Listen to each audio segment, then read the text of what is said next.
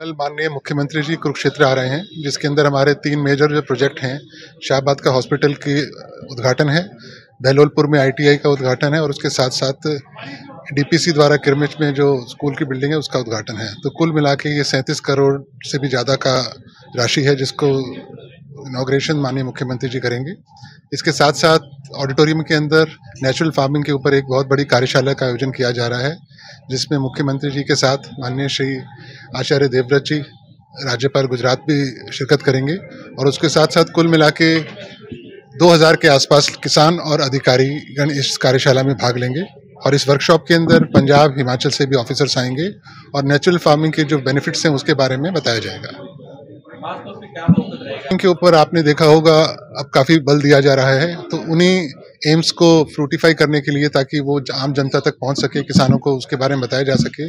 इस वर्कशॉप को ऑर्गेनाइज किया जा रहा है। और मेरा ये मानना है कि आने वाले समय में ऐसी कार्यशालाएँ और भी आयोजित की जाएँगी जिससे किसानों को नेचुरल फ़ार्मिंग के बारे में ज़्यादा पता चल सके। हमारे पास माननीय मुख्यमंत्री जी कल दोपहर बाद यहाँ पर पहुँचेंगे।